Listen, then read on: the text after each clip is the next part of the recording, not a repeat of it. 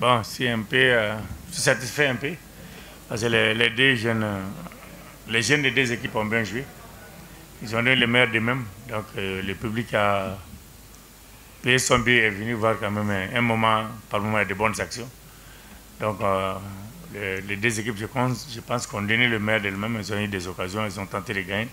Chacune des équipes voulait gagner. On avait des, équipes qui voulaient vraiment avoir un bon résultat. Donc, c'est un peu, euh, content. D'abord, pour nous, normalement, c'est un bon résultat. Hein, à l'extérieur, mais rien n'est fait. Je pense que c'est quand même euh, à peu près un match, euh, assez bon match. Ce n'est pas un très grand match, mais ça a été assez bon quoi, dans l'ensemble. Mm.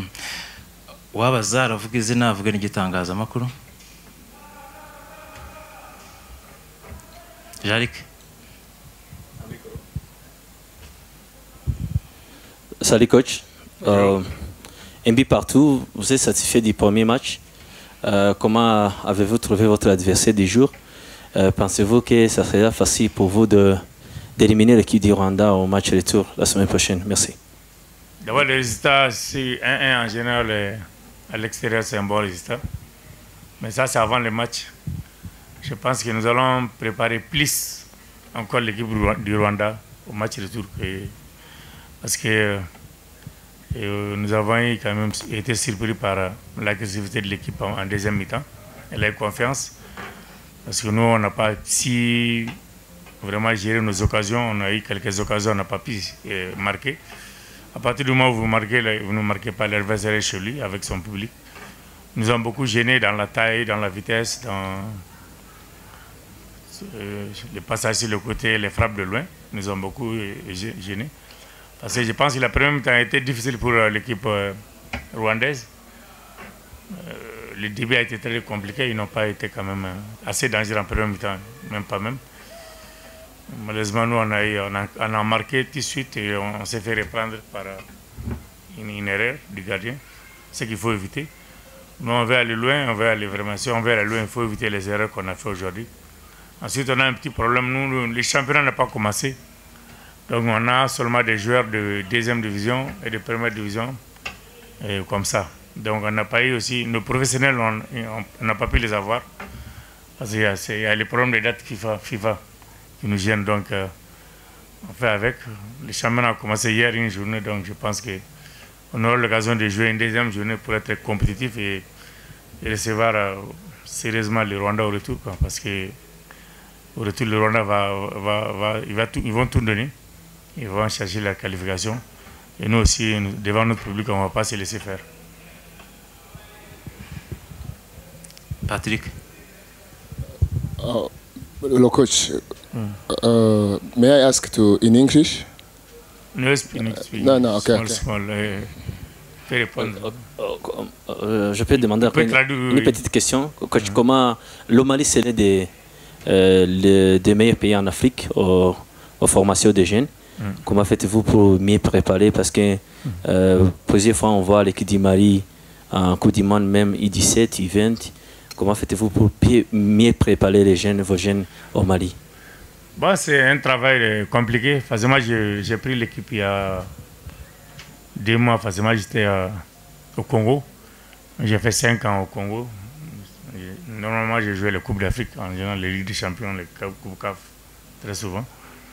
Donc, euh, moi, je suis en même temps le sélectionneur adjoint de l'équipe A et j'ai les I23. Ce que nous faisons, c'est que nous, avons des encadrements. En fait, le Mali, là-bas, c'est que tous les anciens joueurs qui ont arrêté de jouer, les Kanouté, c'est pas les Keita, les Djara, tous, ils reviennent au Mali, ils font les centres, ils créent. Ils, ils ont leur propre euh, centre de formation bien structuré. Et aujourd'hui, au Mali, il y a plus de centres de formation même que d'équipes. Que Donc, les gens, il n'y a que la formation ce qui a même tendance à, à faire un peu, comment dirais-je, disparaître les grands clubs, le Djoluba, le Stade, on ne les voit plus. C'est parce qu'il y a trop de centres de formation, il y a trop de formation. Et aujourd'hui, les gens forment les jeunes, sans jouer dans les championnats maliens, ils partent à l'extérieur très jeunes. Donc ça, ça joue aussi sur le Mali. Donc euh, c'est ça. C'est une politique des jeunes qui a été mise euh, par Salif, Salif Keita, l'ancien ballon d'or. Quand il est revenu de, l'Europe, il a mis cette politique de, de, formation. Donc tout le monde a suivi et les résultats sont là. On a de très bons jeunes partout. J'ai dit ça, c'est les 90% de l'équipe. Par exemple, la défense, à part les, les grands, ils jouent en deuxième division. Toute la défense. Deuxième division du Mali. Et les milliers, tous les attaquants, ou deux, tous les attaquants jouent en deuxième division. Donc on a pris, comme la deuxième division, le championnat est fini il y a juste un mois, on a pris chez les DD, les deuxième division. Maintenant, il y a juste un ou deux joueurs de premier qui est rentré là, en deuxième mi-temps. Parce qu'ils n'ont pas de compétition. C'est la formation, je pense que même le Rwanda doit aussi hein, passer par ça. Il faut faire la formation. Rien ne vaut la formation aujourd'hui. Prenez les jeunes très jeunes, très jeunes, suivre leur âge, c'est important aussi. Donc, euh, vous, vous, regardez le match d'aujourd'hui. Euh, qu'est-ce que tu vas corriger, de, avec de corriger là euh, pour votre équipe, pour continuer, pour euh, avancer dans notre étape suivante Ce que je veux corriger au match de d'abord, c'est la défense. Ma défense qui a fait beaucoup d'erreurs aujourd'hui. Ils ont donné beaucoup de cadeaux à l'adversaire. J'ai dit le Rwanda, en deuxième temps, pouvait marquer un ou deux buts. Donc, je vais commencer par la défense. Les tirer les oreilles, même s'il y a des, des, des, des, titulaires qui manquent. On va commencer par là-bas. Et ensuite, être avoir un peu de maîtrise au milieu de terrain. Parce que nous, il faut qu'on joue mieux que ça. On doit jouer plus que, mieux que ça au ballon. Et corriger l'attaque aussi. Ce n'est pas, pas facile, quoi, parce qu'actuellement, les joueurs qui jouent avec leur club euh, Coupe d'Afrique, on n'a pas tous les, les joueurs, c'est un peu de problème. Mais on va corriger ça. On va essayer de marquer plus de buts que le Rwanda parce que le Rwanda va. ça va, ça va chauffer là-bas. Ils, vont venir, ils vont se battre. Oui, comme un technicien, euh, c'était les joueurs très dangereux de, pour côté rwandais. Euh, qu'est-ce que tu as, tu vas pour étudier de prise que les autres? Il n'a pas compris. Les joueurs très dangereux. Il faut, faut me ouais. Il faut m'expliquer ça, ouais. Et, il y a un jeu qui t'a marqué au côté rwandais, euh, qui étaient dangereux pour votre équipe du Mali. Hmm? Les jeux qui t'ont marqué au côté rwandais. Les jeux Les joueurs, les joueurs. Les joueurs. Ouais. Ah, d'abord la girafe, là, la, il est 7. La girafe. Les 7 n'étaient pas mal. Hein. C'est au milieu il y a un ou deux euh, qui sont bons.